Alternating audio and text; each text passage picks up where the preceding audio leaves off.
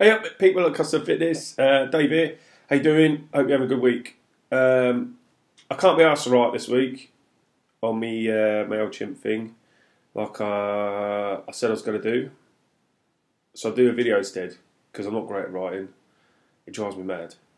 I can't get stuff down quick enough. So I want to talk today about um, what I've done at the weekend. Okay, uh, on Saturday I went down uh, down south to do the Judgment Day obstacle course race run. Uh, it's 12 kilo, um, if only 12 kilometre run, uh, based down in um, Bordon, Hampshire, where the army do all their tank training. Um, I didn't go around telling loads of people that I was going to do this one, purely on the fact that uh, I wanted to do this one just for me, really. Um, a lot of OCRs when I've got loads of you lot joining in.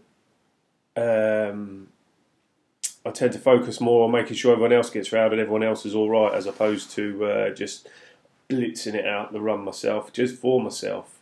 So um, yeah, I did that, and I loved it. I proper loved it. I smashed it. I was really, really, really um, strong for me. I, you know, I did all the monkey bars, the rope climbs. Yes, I'm amazing, but yeah, I did it all, and uh, I felt really strong at the end. I was plenty left in the tank. Um, so, and the other advantage was obviously go down there. I can see my family, which is wicked too. Um, so, I just want to go through like why I did it, the training that I did, just so you lot can understand that um, you don't need to be doing twice a day training or um, occlusion training, which is where someone else has seen recently, or anything like that. It's just looking at uh, the smaller details and missing the bigger picture. Okay, so um, yeah, and the other reason I did it, to be fair, is in next month. It is posted around. We talked about it with people on the gym floor. Dirty Dozen. Um, it's there, London South, and I'm doing the six and the twelve in one day. For me, that's a big challenge because I hate running and I'm shit at it, and I ain't built for it. Okay, I'm built to lift shit. I know that. So that's part of why it's a good challenge for me. Um, right, so my training to this point after I entered. Okay, now business wise, I'm manic. Okay, so I could only manage three sessions a week. All right, so first of all, you know, thinking about you lot who come to the gym and do a lot of classes, you train a lot more than me, okay? A lot more than me, and probably for a longer duration as well. If I get more than a 45 minute session, that's long for me, okay? And my training consisted of one run and two weight sessions, okay? And um, the weight sessions were split upper body, lower body. And nice and simple for me. Okay, so my running, I didn't run more than uh, five kilometres in any of my runs. But what I did do when I ran, um, for those who know, I run down Greestone Steps on Lindum Hill and then I run up Lindum Hill uh, around the loop. It's about 600 metres, okay, when I've GPSed it with my watch. Uh, I started off four laps, absolutely broke me. Okay, um, if you want to like you know speak to Katie, she saw me trying to walk up the stairs in her house. Oh, I was pathetic. Okay, uh, but I built it up. I got up to six k and then I uh, six laps. Sorry, and then I did a six lap, and then I started putting um, a bit of a flat loop on the end, just to get a little bit more distance because I wasn't sure whether I was running enough. Okay, the difference being I didn't poodle, I thrashed myself.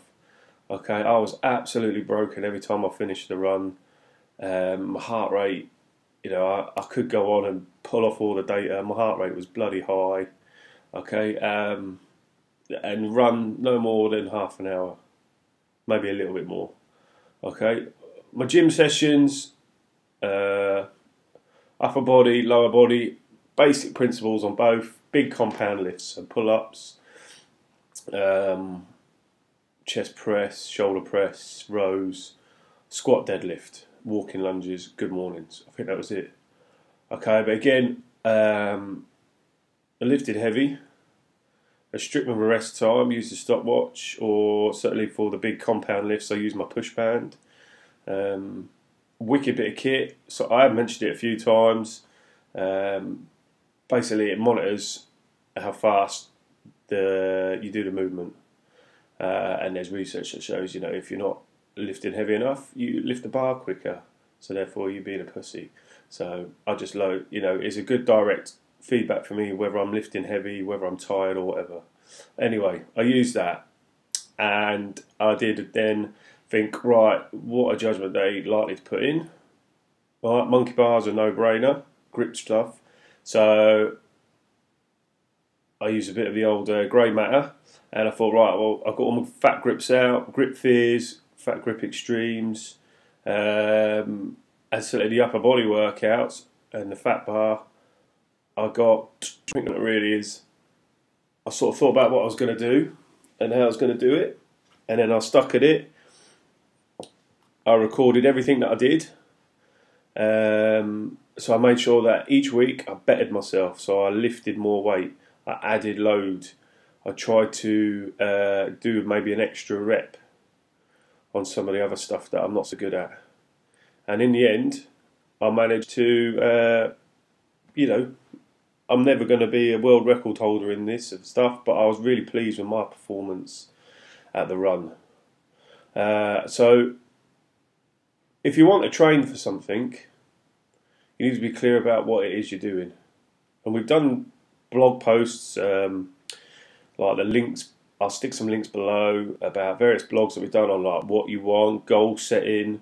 I'll stick something in about push band as well. And fundamentally, be clear on what you want. And then if you want us to help you, we can. But at the same time, it ain't free. Um, but that's going off on a tangent now. But just be clear, you don't have to do loads and loads and loads of training to do something. As well as training hard, you need to train smart. Okay, and that's where I have that advantage um, because it's my industry, because I've spent the last 15 years learning and trialing and error and stuff. You know, just like, you know, I couldn't go build a house tomorrow uh, you know, although you know I couldn't, and I don't have the skill set. You know, so likewise, if you want some help, just come and ask us. Okay. Um, have a good week, and depending on how this goes, I might do it again. I might not. Laters.